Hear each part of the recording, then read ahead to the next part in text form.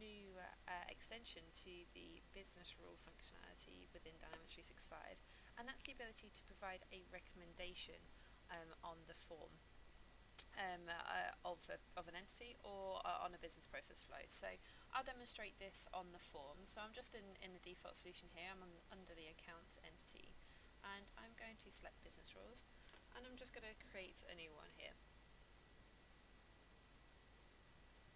And opens up is the new process flow designer. So I've got my conditions. Let's just enter a name for my condition.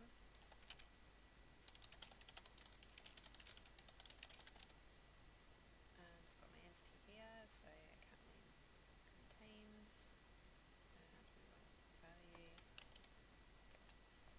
So we've got our condition, we're just going to apply that. So that's the account name, if the account name contains cat. So let's go to the component section and this is the new recommendation feature here. So I'm just going to drag drag it over here. So we've got the recommendation so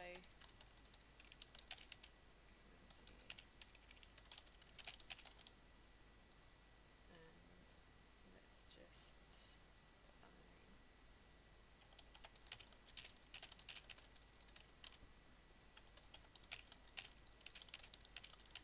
So what it allows you to do is it gives you gives you the ability to actually select a field which doesn't actually have to be the originating field that your condition is on.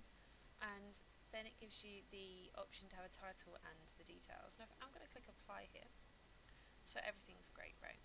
So I just want to save it and what will happen is the system's kind of like oh hey Sarah you've not really done everything. So if I just expand this you'll actually see that there's an action that I need to actually apply to this and this is what, what it's basically whinging at. I've not filled out all the required fields and you might be kind of thinking but you're actually only really providing a recommendation. Why do I need to add an action? And you will see why in a moment. So I'm just going to just add a title here and say clear and apply. And we're going to save this now it should let me and then I get the options to be able to actually activate it.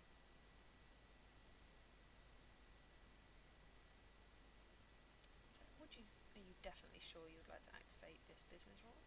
I am definitely sure I'd like to activate this business rule. I want to show you this amazing functionality in action. All done? Fantastic. So if I now go over to the accounts and let's just pick one that already exists. So nothing special will be happening as I open this form. So let's just say World of Cats and save it. Now I've managed to save it, you can see there's a save here, but you can you see this little eye here? Um, it's quite a humble little icon. Um, I click it and I've got my title. Are you sure that this is correct? And do you need to add more cats?